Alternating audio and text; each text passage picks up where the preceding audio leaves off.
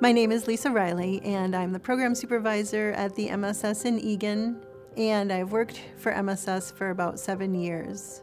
I first started to get to know Dan in the spring of 2015. A staff member named Stephen set him up with an easel and a small canvas and mounted the paintbrush onto his head with sort of a construction helmet liner. So Dan started painting with his head and realized that this was something he really enjoyed.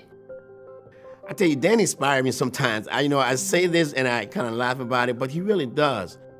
He lived that life of, I want to do what I want to do, and I'm going to keep doing it. So Dan is physically setting the pace. He's a pace setter, and I'm telling you, people follows because he does a great job at it. Every morning, he asks to get set up in front of the easel and he asks for types of paint and different assistive technology tools to give him choices. And I've seen his work grow from just a single layer of paint to layer upon layer. And he advocates for himself every day that this is something that he wants to do. It's beautiful. So his passion for art has been strong, and I recognized that right away. And so we started giving him the opportunity to do more of that. His goal is to go big.